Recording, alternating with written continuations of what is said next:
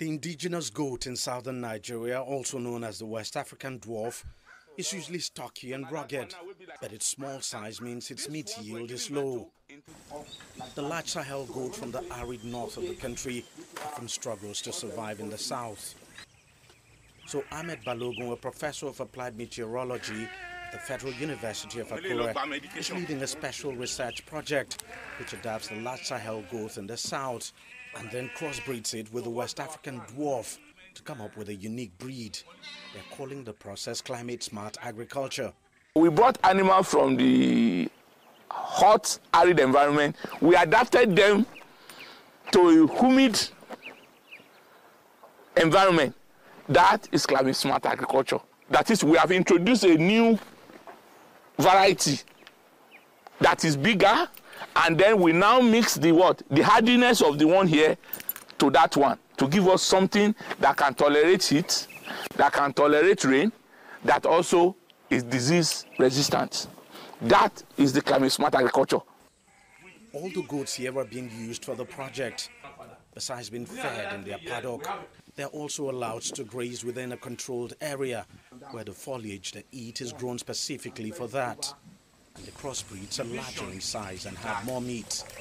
We started this process with just less than 15 goats and maybe 10 sheep. Today, we are over 100 in strength and we have been selling since 2022. And there's also one thing, they are eating puberty maturity faster. They are reaching maturity faster even though we don't breed them earlier than they are ready to breed between six and seven months but we don't breed them then. We breed them around 10 months. That's another climate smart intervention or innovation. The university has now set up a franchise on the initiative. About 30 individuals have taken up the franchise and have set up their own climate smart goat farms. Some like this man in their backyard. I'm planning to go full length um, to go commercial on it. I, recently, we purchased some acres of land to be able to build commercial plot and a commercial good tree whereby we can rear them on the commercial scale.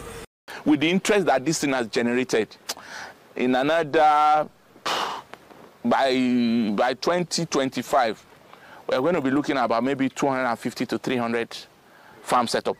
It seems a difficult task to accomplish but with Professor Balogun's passion for the project, it's really not impossible. Deji Badimosi, CGTN, Akure, Nigeria.